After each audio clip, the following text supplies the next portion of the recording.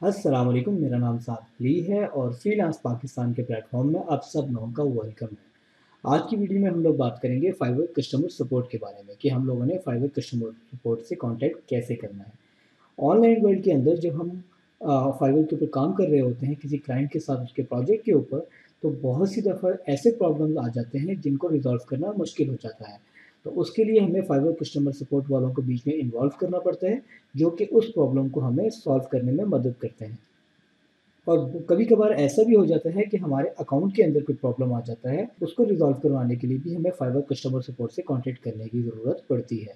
तो आज की वीडियो में हम लोग ये देखेंगे कि हम फाइबर कस्टमर सपोर्ट से कॉन्टेक्ट कैसे करते हैं, जब हमें कोई इतना प्रॉब्लम आए। बेशक वो प्रॉब्लम अकाउंट से रिलेटेड हो क्लाइंट से रिलेटेड हो, या किसी प्रोजेक्ट से रिलेटेड हो। तो हमने कस्टमर सपोर्ट से कांटेक्ट कैसे करना है? तो चलिए स्टार्ट करते हैं। आपने अपनी फाइवर की प्रोफ़ाइल में आना है।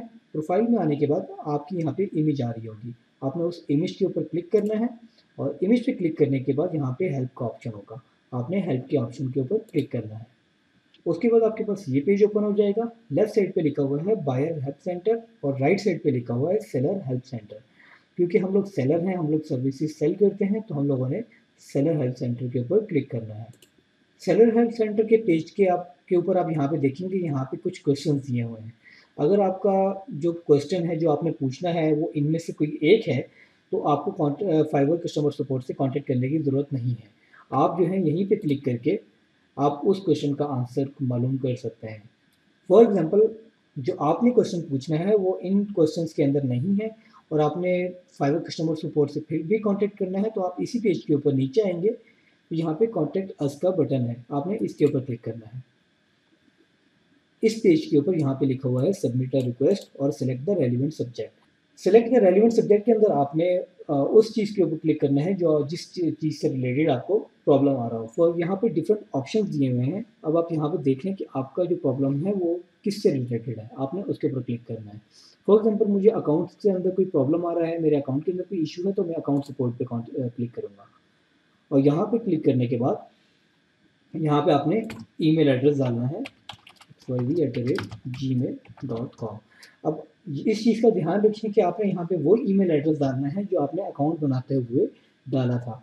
क्योंकि जब आप फाइबर वालों से कांटेक्ट करेंगे तो जब जो इसका जवाब होगा, जो इसका रिप्लाई होगा, वो आपको ईमेल में आएगा। आपको ईमेल के थ्रू उनसे कांटेक्ट करना पड़ेगा फिर। तो यहाँ पे आपने ईमेल डालना है और उसके बाद यहाँ पे आपने सब्जेक्ट लिखना है। For example I can't able to log in my account for example, आपको ये ये प्रॉब्लम आ रहा है। आपने यहाँ पे डिस्क्रिप्शन लिखनी है। डिस्क्रिप्शन में आपने अपने क्वेश्चन को, जो आपको प्रॉब्लम है, उसको आपने डिटेल के अंदर डिस्कस करना है और उसको बताना है और उसके बाद यहाँ पे अपने यूज़र नेम डालना है। यूज़र नेम आपका जो है, आप जब आप अपनी फाइबर की प्रोफ़ाइल में आएँगे तो ये जो आपकी पिक्चर के ऊपर जब क्लिक करेंगे तो ये जो है, ये आपका यूज़र नेम होगा।